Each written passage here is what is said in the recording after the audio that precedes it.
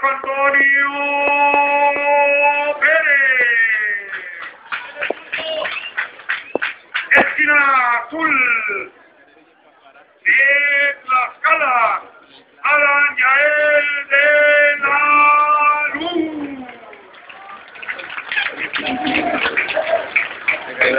Azul Yael de la Luz, aquí de este bonito barrio de San Pedro, ex medallista olímpico, Guadalajara, Jalisco, aquí en este cuadrilátero de esta explanada las llaves de San Pedro, cuando vemos a Morelos, esquina roja, Marco Antonio Pérez con la guardia equivocada y efectivamente con ese volado de derecha, ahí quiso sorprender esquina roja con un opercito de derecha, pero confiamos en que el ciclón Yael de la Luz pueda salir adelante de este compromiso, incurren en un amarre, ahí, simple y sencillamente Marco Antonio Pérez, esquina roja, trata de poner en su lugar a Yael de la Luz cuando ahí lo remata con un recto de izquierda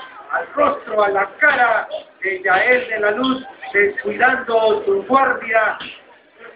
Y vemos otra vez ahí con ese recto de izquierda y lo vuelve a sorprender con un jab de derecha al rostro de parte de esquina roja, dando ambos boxeadores para entrar a la distancia adecuada.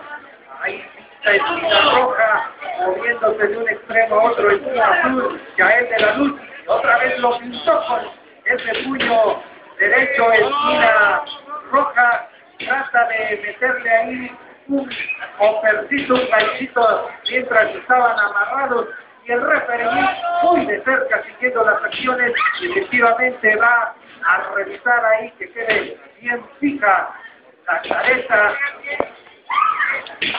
de parte de esquina azul.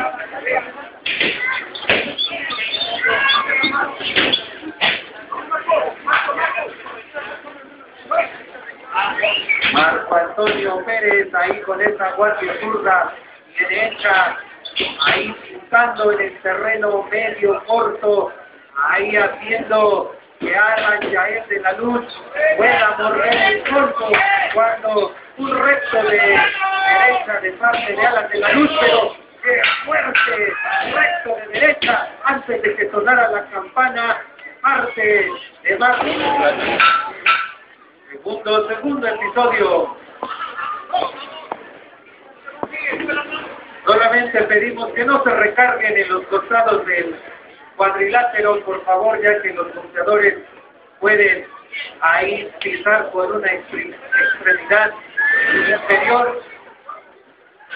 Así que les pedimos este favor, no recargarse.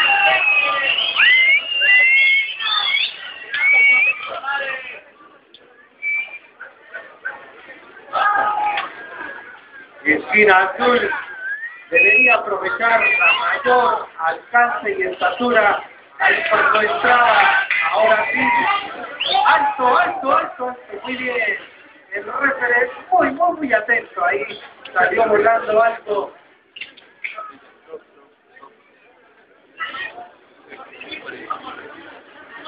Parecía que era el protector bucal, sin embargo, una falta al arma, sin embargo, el referee está muy, muy atento a lo que acontece ahí con autoridad en este engordado, en estos 33 metros de lona, cuando vemos que Yael está ahí desconcertado en el piso.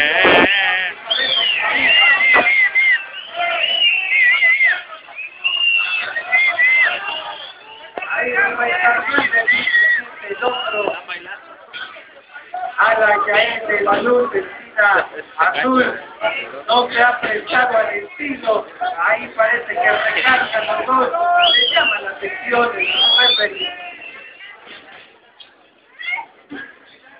efectivamente muy bien el referee si no quiere pelear abajo del cuadrilátero. Esa es la autoridad del referee muy bien por eso ahora sí ahí después de esa llamada de atención fuera muy bien el referee. Un aplauso para Fuera, fuera secos. tercer, tercer y último episodio.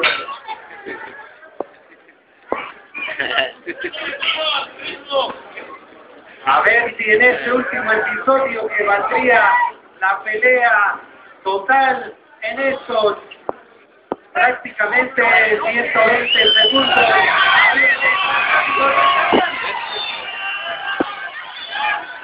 Definitivamente parece que estaban ahí en un baile de quebradita o no sé de qué estilo, pero no sería ahí muy atento. Ahí otra vez se en el amarre, empujan los dos con el cuerpo, se abren a la distancia, esquina azul tratando de esquina roja, ahí tratando de levantar el rostro, la cara de esquina azul, cuando ahí se balancea y dice, vamos,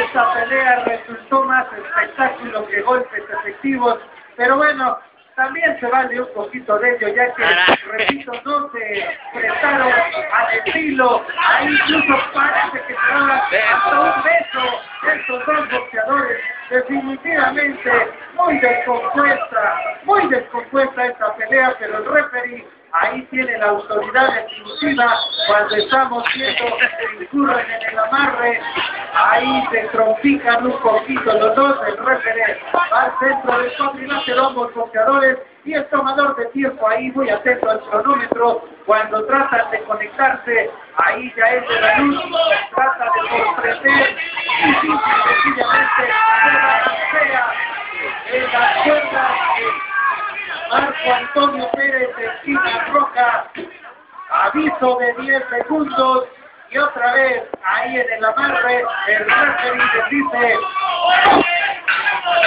así terminó, terminó esta pelea. Yael de la lucha sangrando de las fosas nasales y vamos a ver el referee nos va a llamar al centro del cuadrilátero para la, la decisión final.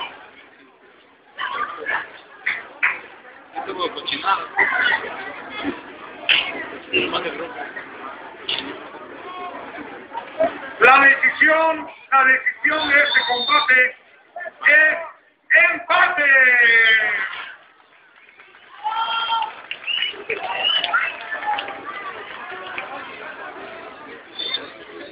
El bailecito que echaron.